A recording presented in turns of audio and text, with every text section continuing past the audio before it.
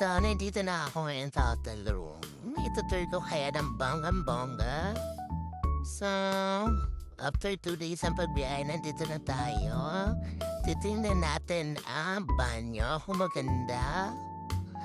Ay, meron bata. Panalo. Bababad ako dyan later. So, ayan na nga guys. Patagal-tagal yung biyahe. Two days. Nangaragang akla. So, okay lang. Kasi nandito na tayo safe na nakarating sa hotel. Ganun. Ah, itulog ka. Man, nakakasatas. Mag-isa lang ako. Charas. Titignan natin ang view sa labas kung maganda.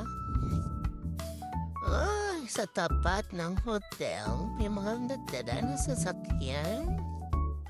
Okay na rin, nakakalibang. Mamaya, wag pumuni-muni ako dyan. Hmm. Ayun, papahinga muna si ako na matutulog din sa kama. And, ayan, pa. Ganun. So, babay mga te. Mwah.